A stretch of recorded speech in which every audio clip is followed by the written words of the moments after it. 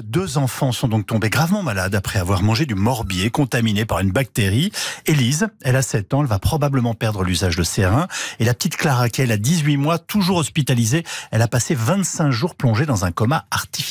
En cause, la bactérie Escherichia coli qui est présente dans le tube digestif des ruminants et qui peut contaminer ensuite le lait venant faire le fromage. Alors, il existe plusieurs types d'Escherichia coli. Elles vont donner la plupart du temps une banale intoxication alimentaire, mais certaines de ces bactéries vont produire des toxines extrêmement dangereuses qui vont attaquer les reins et provoquer ce qu'on appelle de l'insuffisance rénale. Et la particularité pardon, de ces fromages contaminés, c'est qu'ils sont faits à base de lait cru. Oui, et comme le lait n'est pas pasteurisé, c'est-à-dire qu'il n'a pas été chauffé, les bactéries éventuellement présentes peuvent survivre et contaminer les fromages. La plupart du temps, ces bactéries chez l'adulte sont combattues par notre organisme. En revanche, chez des personnes dont le système immunitaire est plus fragile, la bactérie peut être beaucoup plus dangereuse. Et donc c'est le cas notamment des enfants. Oui, c'est pour cette raison que l'Agence de sécurité sanitaire rappelle que les jeunes enfants, et plus particulièrement ceux de moins de 5 ans, ne doivent pas consommer de lait cru et de fromage à base de lait cru. Après 5 ans, ce risque n'est pas nul, mais il devient de moins en moins important et cette recommandation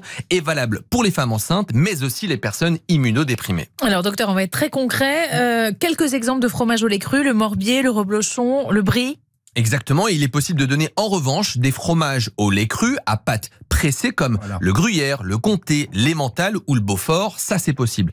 Je rappelle aussi que la viande hachée doit être bien cuite car elle peut présenter les mêmes risques d'intoxication chez les enfants. Dites-moi, ce morbier que les petites filles ont consommé avait fait l'objet d'un rappel sur le site du gouvernement, rappel.conso.gouv. Hein. Oui, c'est vrai, et sur ce site, vous trouverez presque tous les jours de nouveaux produits contaminés. En faisant un tour ce matin, j'ai trouvé de la truite fumée, du filet de hareng, du maquereau, du boudin contaminé par une bactérie extrêmement dangereuse qu'on appelle la listeria. On y trouve aussi du poulet et des merguez contaminés par des salmonelles et j'en passe.